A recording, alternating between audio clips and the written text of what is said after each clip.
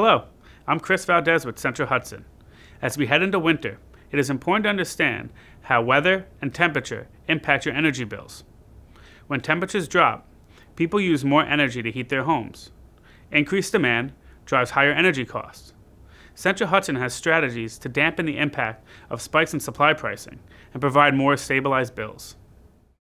Specifically, spring and fall are transitional seasons, so you tend to get some of the wildest swings in temperature at both basically book bookends of the season. You've got a lot of com competing air masses, so you still have a lot of warmth from the south uh, trying to creep in in the fall, while the Arctic air from the north is trying to obviously make its inroads. Weather is going to have the main impact on the supply portion of the bill because those prices are dictated by supply and demand. And in times of great demand, prices increase.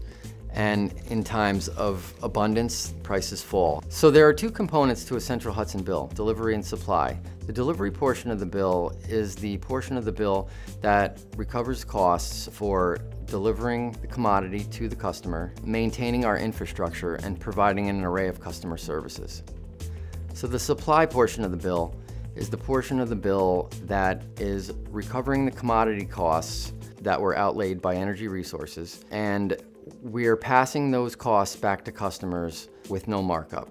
Customer habits can impact load uh, based on weather, such as high heat, where customers would use AC and therefore generate high loads, or in periods of very cold when they generated their heat at night uh, would be high loads overnight. In times of extreme cold, when customer demand is expected to increase um, accordingly, the company has to go out into the spot market and purchase um, supply to meet this demand during these times of cold weather.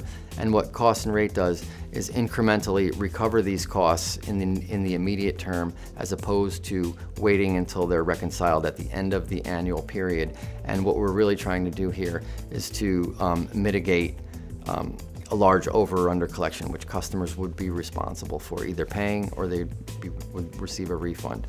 In order to provide stable, predictable pricing profiles for our full service customers, we institute a hedging program using a three-pronged approach. One is energy hedges, another is capacity hedges, and the third is a winter weather option. The first is a financial instrument, the second is a physical instrument, and the third is also a financial instrument which is used during uh, peak weather periods during December through March. So we use past weather data, past load data, and that's how we figure out, okay, how much do we think we're gonna need? Um, going into each month for the each season, winter and summer. Every season going into the winter, we're always going to have these options set up so that way, yeah, if an extreme winter did occur, we have these hedging products that can help dampen price volatility and um, help alleviate prices for customers. The thoughts on this winter is that it's going to be snowier than last winter. That would be my small little tidbit before we get to the actual release of the winter outlook. While Central Hudson works to dampen your bills, we encourage you to do your part by installing energy efficient equipment, insulating your homes, and being mindful of when you use major appliances, you could significantly reduce your energy use. You could also sign up for budget billing to avoid seasonal fluctuations in supply pricing.